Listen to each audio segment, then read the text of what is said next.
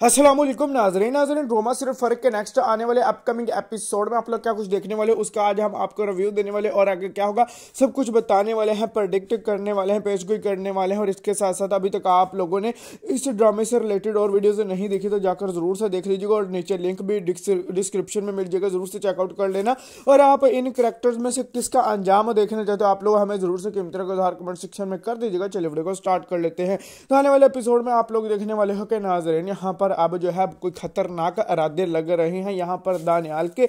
या तो वो उसे ट्रोल अव करना शुरू कर देगा आने वाले एपिसोड में, या फिर नाजरीन उसे पता चल जाएगा कि यह कमाल की बीवी है और नाजरीन इसीलिए इसे इस्तेमाल करने के लिए वो सब कुछ करना शुरू कर देगा। आप लोगों को क्या लगता है? और इसके साथ साथ नाजरीन कमाल को भी यहाँ पर फीलिंग आना शुरू हो जाएगी कि यहाँ पर ईर्षा पहले मेरे नज़दीक आ रही थी, लेकिन मैं दूर भाग रहा था। वो मुझे प्यार हुआ है उससे और मैं उसके नज़दीक जा रहा हूँ और वो मुझसे दूर भाग रही है, ऐसा क्यों और नाजरीन, जब वो आने वाले एपिसोड में यहाँ पर वो बॉस के साथ देखेगा तो शायद नाजरीन शक भी करना शुरू कर दे। और नाजरीन, ये समझाया ऐसी कोई बात नहीं है। लेकिन नाजरीन, इसके साथ साथ एजल क्या करेगी? दूर सब तक ये थी हमारी प्रोडिक्शन वीडियो के बेफ्रेंड्स अल्लाह हाफिज़